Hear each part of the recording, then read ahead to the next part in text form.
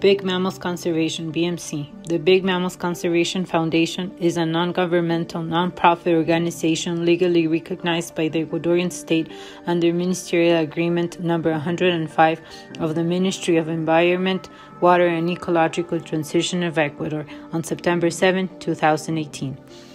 The main objective of BMC is to promote conservation activities of Ecuadorian large mammals through the development of scientific research focused on conflict resolution due to people fauna interaction. The multidisciplinary nature of the BMC members allows the conservation of large mammals to be approached from different perspectives in order to address the interactions generated by the coexistence of rural human settlements with wildlife. The Mirador del Oso Andino MDOA project clearly reflects the work that the Foundation has been implementing for more than a decade. Located in the community of San Francisco de Sigsipamba in the Pimampiro area of the Imbabura province, situated in the northern Andes of Ecuador, this space monitors daily the behavior of several wild specimens that are part of the Andean bear subpopulation of the Pisque River Basin. The daily records have allowed the biologists of the BMC Foundation to understand the ethology of these species in situ, being pioneers in their research.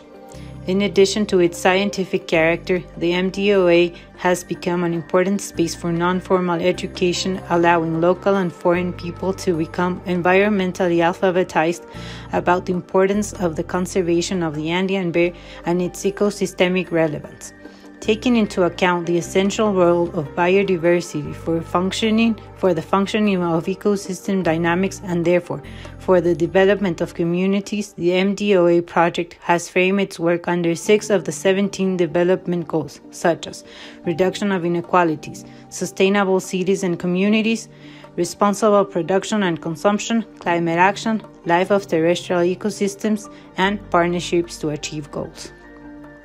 the work of the BMC at El Mirador has been portrayed in the development of 10 international documentaries, including the French Ecuadorian documentary The Secret Life of the Andean Bear, winner of two international awards in 2020, Wildlife Conservation Film Festival and Nature Without Borders International Film Festival.